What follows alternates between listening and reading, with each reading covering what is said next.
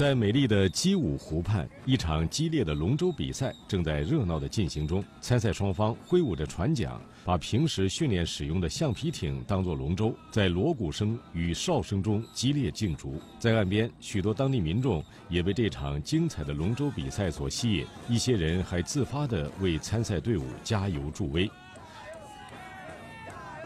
比赛结束后，官兵们来到食堂，用早已准备好的糯米、粽叶、腊肉、红豆、花生和大枣等原料，包出了各式各样的粽子。